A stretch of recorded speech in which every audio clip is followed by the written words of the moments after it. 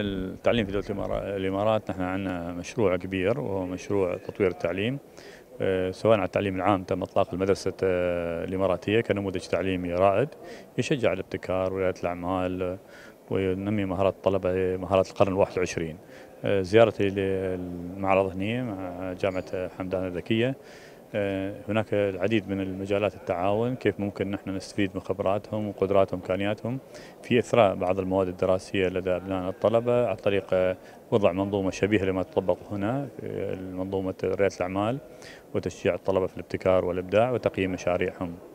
بالنسبة للتعليم العالي تم إطلاق آه، منظومة الجديدة للتعليم العالي في منظومة تصنيف الجامعات واعتماد الجامعات وجاري آه، تثقيف وتدريب الجامعات عليها. وعندنا إن شاء الله بعد يومين لقاء مع جميع جامعات آه، العاملة في دولة الإمارات حتى وضع خطة تطبيقية مثلى لهذا المشروع إن شاء الله.